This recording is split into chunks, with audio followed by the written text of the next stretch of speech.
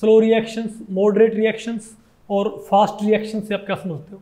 नमस्ते, मेरा नाम मनदीप दलाल है और इस लेक्चर में हम इन्हीं प्रश्नों के उत्तर खोजने की कोशिश करेंगे।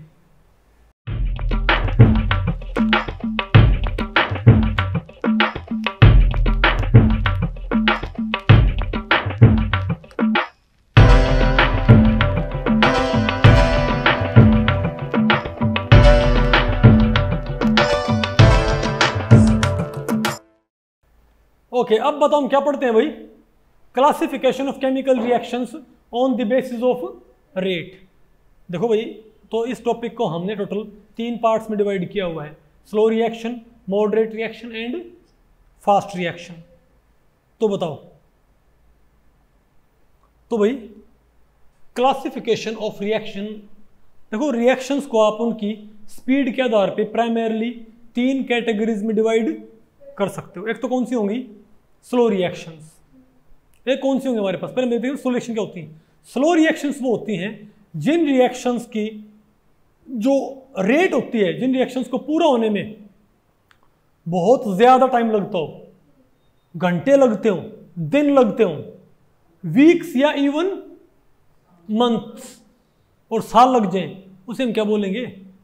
यानी रिएक्टेंट जो है, वो कन्वर्ट तो होगा इनटू प्रोडक्ट लेकिन बहुत ही स्लो रेट से कन्वर्ट होता है। तो क्या बोलेंगे उनको?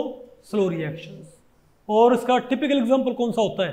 रस्टिंग ऑफ़ आयरन आप किसी लोहे के टुकड़े को बाहर छोड़ देते हो तो उसको इमिजिएटली उसे, उसको जंग नहीं लग जाएगा। उसमें दो दिन, तीन दिन, चार दिन सॉरी उसमें दो महीने, तीन उसमें कुछ तो उसमें टाइम लगेगा। तो रस्टिंग ऑफ़ आयरन क्या है? कोरोजन क्या है एक? स्लो रिएक्शन बात आपको पहले पड़ेगी एक हमारे पास तो क्या होती हैं?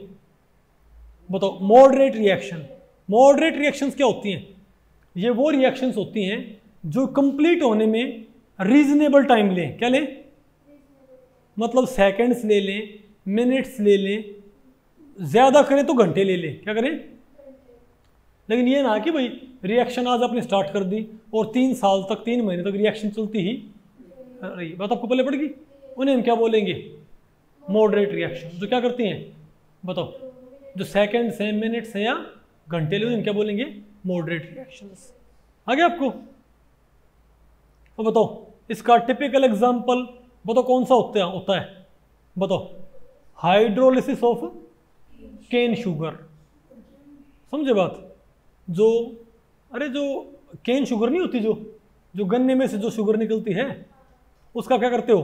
हाइड्रोलिसिस नहीं आपको? अरे भाई, इसमें क्या हो? पानी मिला के इसको तोड़ दो। C six H twelve O six के अंदर। तो ये रिएक्शन मॉडरेट स्पीड से होती है। तो क्या बोलेंगे इसको? मॉडरेट रिएक्शन क्या? अरे नहीं अरे अरे यहाँ पर एच आएगा भाई एच सॉरी मतलब गूगल पड़ी ठीक ठीक कर लियो भाई। ये ये टाइप ऑफ़ मिस्टेक है। यहाँ पर क्या करो? ये ये भी एच है और ये भी क्या हमारे पास? एच और ये हमारे पास एच है? आगे आपको। एक हमारे पास क्या होता है अच्छा मैं आपको बताऊँ? स्लो रिएक्शंस की रेट को आमतौर पे मेजर नहीं करते। क्योंकि बहुत ही ज़्यादा स्लो होती है। लेकिन मॉडरेट रिएक्शंस की रेट को हम फिर भी मेजर करते हैं। मतलब इनको इवन स्लो रिएक्शंस को मेजर कर सकते हैं। सिंपल मेथड से क्या? इनकी रेट को मेजर करने के लिए हमारे पास कोई खास टेक्निक नहीं होती। सिंपल मेथड से हम इनकी रेट कंसिडर कर लेंगे। लेकिन एक हमारे पास होती है फास्ट रिएक्शन फास्ट रिएक्शन कौन सी होती है? कि आपने इसको आप ऐसे मानो कि रिएक्टेंट मिलाए और आप रिएक्शन की रेट मेजर करो ना, इससे पहले रिएक्शन पूरी हो जाए। इतनी फास्ट जो ये मानो फ्रैक्शन ऑफ़ सेकेंड्स में हो जाए। यानी रिएक्टेंट्स मिलाते रिएक्शन पूरी।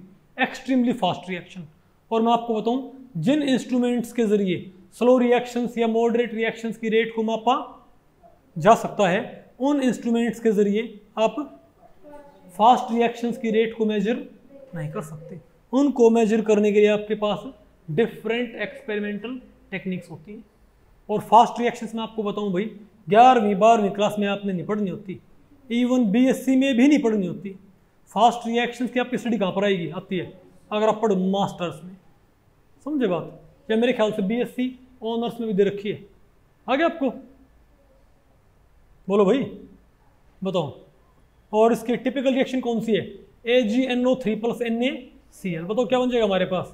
A G C L plus N A N O three आप इसको ऐसे मानो, आपको इसको मेजर करने में दिक्कत क्या होती है? इसको मेजर करने में दिक्कत इसलिए होती है, आप बताओ, अगर कोई बच्चा गंजा हो जाए, अगर किसी छोटे बच्चे के भी बाल काट दिए जाए, ठीक है तो उसको नहाने में बड़ी दिक्कत आती है। कैसे? वो सर पर पानी डालेगा। इससे पहले ऐसे करेगा पानी? मोरी में से? पार नहीं। बात आपको पहले पड़ी? अगर किसी के बड़े बड़े बाल हैं तो पानी सर पे डाला। वो बालों में पानी उलझ जाएगा धीरे धीरे पानी नीचे आएगा भाई, और आसानी से वो मसल सकता है, रगड़ सकता है। नहीं समझे बात? लेकिन अगर गंजा हो जाए तो क्या होगा? पानी डालते क्या होता है? बात आपको पहले पड़ी? तो ऐसा ही होता है भाई। तो इसीलिए वहाँ पर जैसे रगड़ना क्या हो जाए एक तरह से? खुद को साफ़ करना थोड़ा मुश्किल नहीं होता? तो ऐसे बच्चे फिर वही तसले में बैठ के नहाते हैं। ये पानी डालें भी तो पानी कहाँ रह जाए? वहीं पर आ जाए मोरी में से पार ना जाए। ओके? तो उसी तरीके से फास्ट रिएक्शन में आप रिएक्टेंट मिलाते हो। और मिलाने के बाद जब आप इंस्ट्रूमेंट वगैरह ऑन करते हो रेट वगैरह नोट करने के लिए स्पीड नोट करने के लिए, इससे पहले रिएक्शन पूरी हो चुकी होती है। बात आपको पहले पड़ गई? आगे आपको तो भाई इस लेक्चर में इतना ही। अगर इस लेक्चर के बारे में आपके कुछ प्रश्न या सुझाव हैं तो आप मुझे नीचे कमेंट सेक्शन में पूछ सकते हैं।